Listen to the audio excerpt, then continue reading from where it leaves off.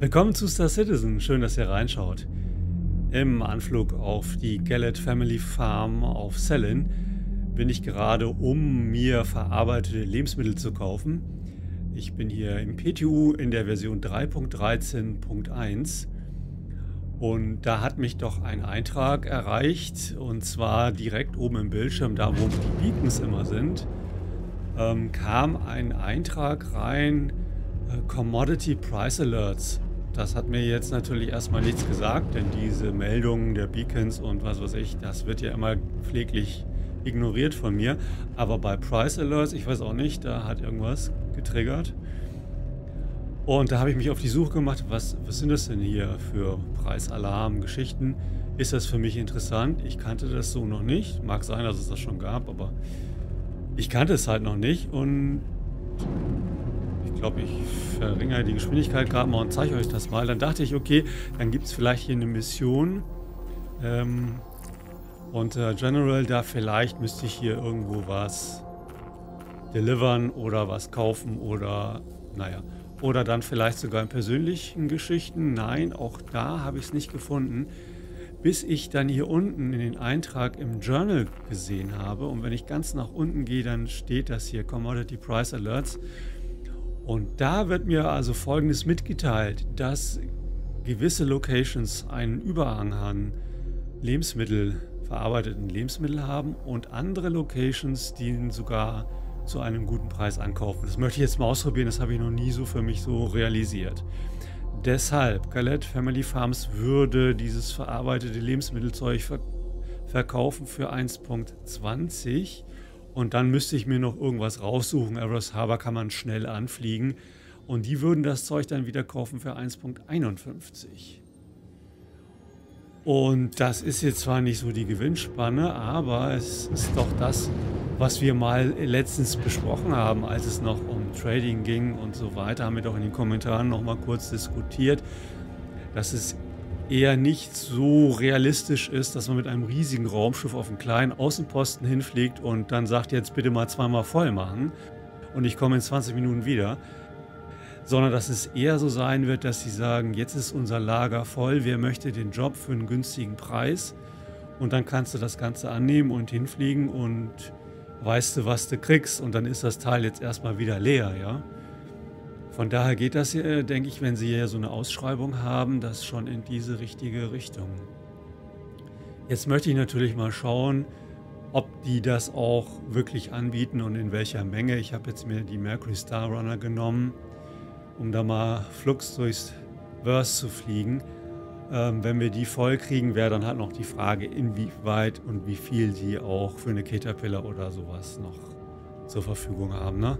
Aber jetzt erstmal gucken, so eine kleine Familienfarm, also Leute, ob ich da wirklich so viel kaufen kann für eine Caterpillar, das ist jetzt halt wirklich die Frage. Das müssen wir jetzt auch mal für uns mal klar kriegen. Guckt, da ist ja so ein kleiner Außenposten hier.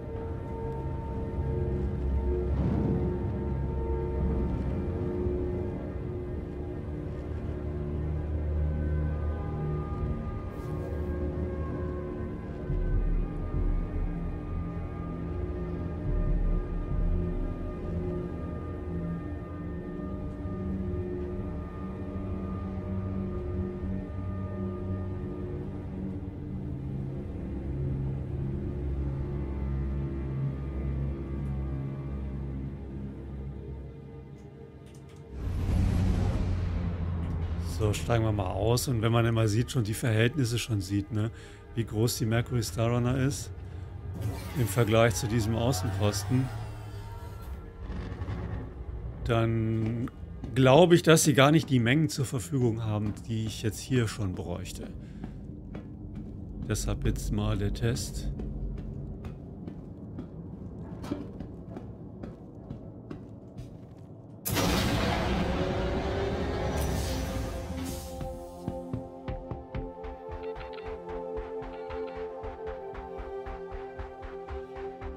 Wenn ihr euch das jetzt hier anschaut, mal so das Verhältnis, ne?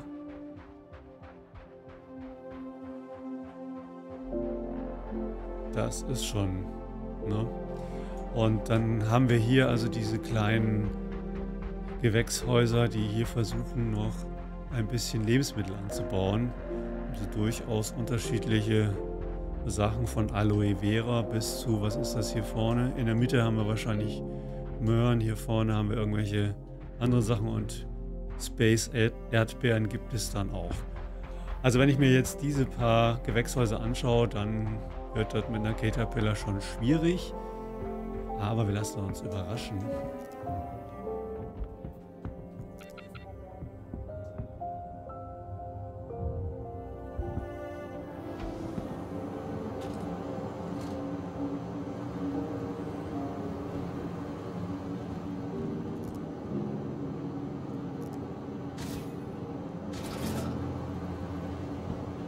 Dann müsste es doch hier richtig sein, oder täusche ich mich da? Nehmen wir das mal. Die Starrunner hat also 114 SEO an Platz und hier sollten wir also dieses Food für 1,21 bekommen.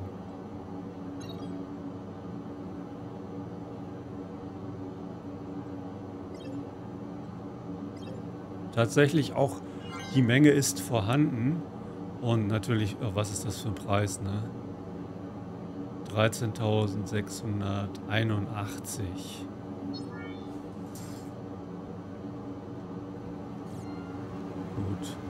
Also den dicken Reibach, den kannst du jetzt hier so nicht machen. Aber ähm, ich finde den Schritt schon in die richtige Richtung. Deshalb möchte ich das auch testen, ob das auch so stimmt, was die dann für Angaben machen.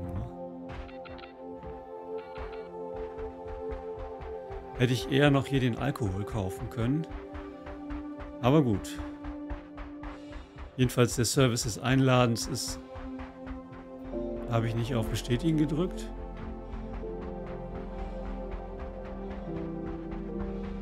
Mag sein.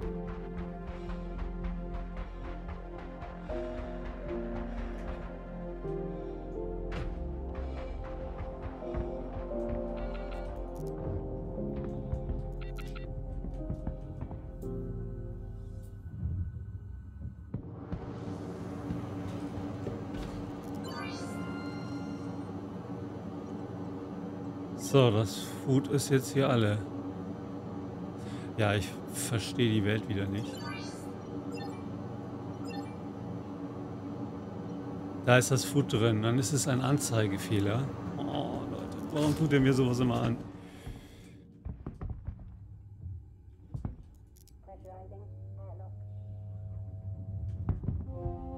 Das gibt es nicht, ne?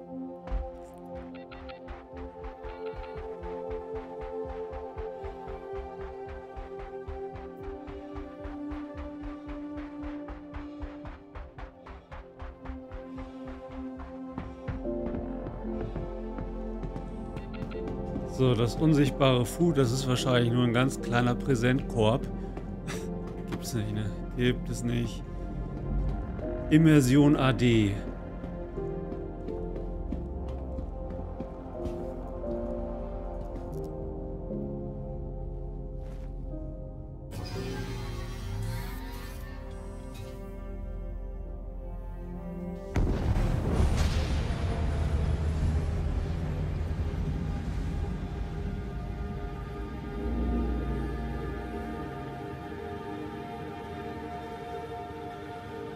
So, den Außenposten haben wir jetzt mal leer gekauft.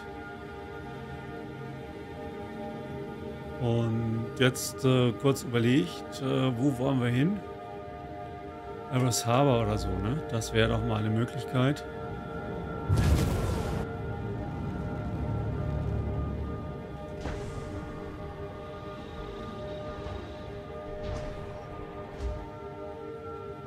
Dann ja, würde ich sagen, da fliege ich da mal hin. Und als kleinen Test werden wir uns dann eben da wiedersehen, wenn ich vor dem Terminal bin. Und dann haben wir das Ganze verifiziert. Also bis gleich. Okay, nun ist es Port Dressler geworden. Ich habe im Journal nochmal nachgeschaut. Und da stand natürlich Port Dressler. Macht auch nichts. Jetzt verkaufen wir das mal. Mal schauen, ob das virtuelle auch da ist. Es ist da. Zu einem Preis von 1,50. Und ja, ich kann es also verkaufen für 17.093, gekauft für 13.681. Das ist nicht die Welt.